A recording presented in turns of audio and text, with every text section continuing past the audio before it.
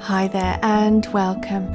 I'm Nicky Sutton and I help people realize the infinite nature of self and of reality. As a spiritual person, do I have to be super nice all the time, even to people who are unkind? It's pretty easy to be kind, courteous, and considerate of everyone and everything, as we all should be. But this question is asked of me a lot recently. As a spiritual person, do I have to be happy and nice all the time? Do I have to be nice to people no matter what? What if someone's being really horrible towards me? Do I have to stand there and take it? Or worse yet, tell them I love them? First of all, you don't have to do or be anything on the spiritual path, it's up to you. How on earth can we be all love and light towards everyone, even if they're being unkind or abusive, or even driving us totally nuts? One misconception I've found is that on the spiritual path we must be a bunch of pushovers, be all love and light, force a happy face, go home, meditate, and manifest a better reality, essentially taking no action. Part of manifesting is taking action, by the way. So, my first point, number one, is about boundaries. If someone is violating our boundaries, then we don't just take it, we take calm action. Here's an example. While driving, I try to change lanes, and I do manage to squeeze safely in. And I see in my rearview mirror the lady in the car behind me waving her arms and shouting. She was quite cross. In this instance, I can let it go because it has no impact on me really. If her ego is hurt by my safely entering the lane in front of her, then she clearly needs healing. Through the understanding that people always act as they do for a reason, and that reason is almost always in a hurt or difficult past, I can have compassion for her and wish her love and healing. My own ego doesn't respond, only with love. However, if the same person was to get out of their car at the traffic light and start banging on my window, I might call the cops. You see, those on a spiritual journey have boundaries like anyone should, except we don't get negatively emotionally triggered so much in troublesome situations because we try to have understanding for other people's need for healing and therefore react with kindness. They probably need more kindness. Number two, on do I have to be super nice on my spiritual path, is authenticity. We want to feel like we can express ourselves. If we have a veneer of niceness on all the time, then we're not being or working towards becoming our true self. Of course, be courteous and caring and considerate towards others no matter what, but those who pretend to be in a high vibration all the time are actually lowering their own vibration. It creates negative energy straining to look happy when we're not.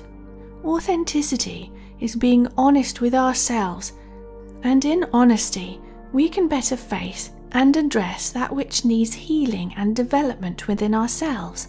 Now that's ascension. Following on from authenticity, when thinking about as a spiritual person, do I have to be nice and happy all the time, is number three repression.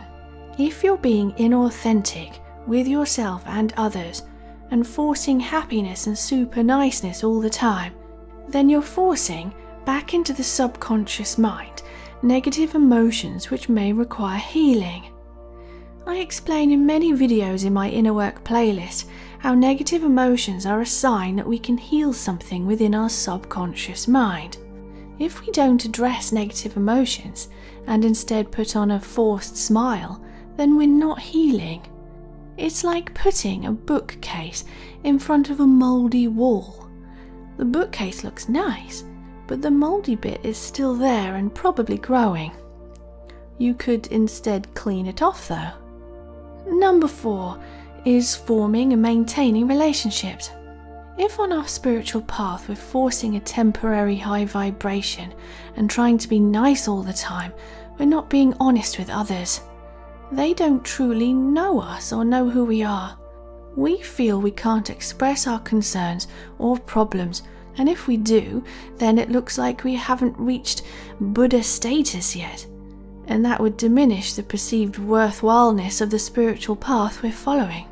In other words, we fall into the trap of trying to look super happy and healed, otherwise, others will think we're not doing spirituality right.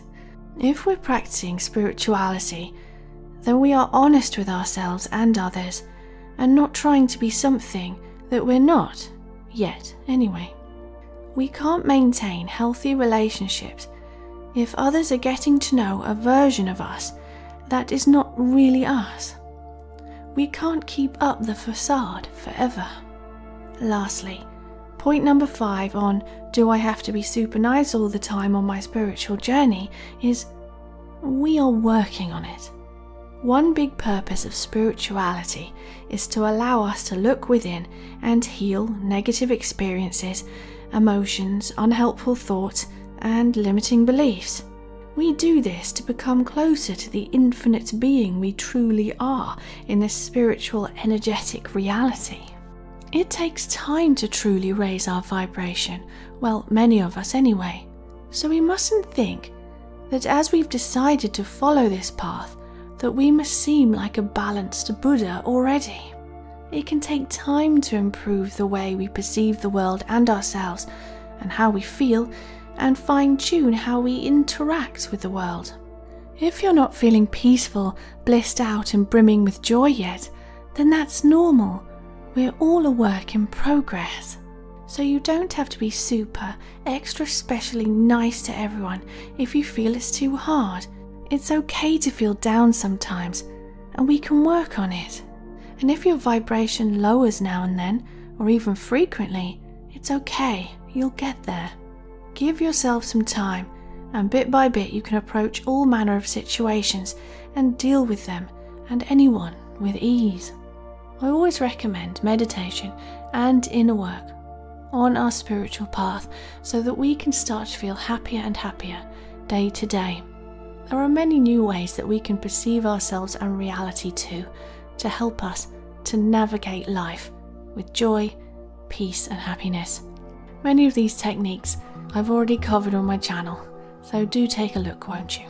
And try my new YouTube meditation channel, Guided Meditations with Nicky Sutton. That's great for healing too.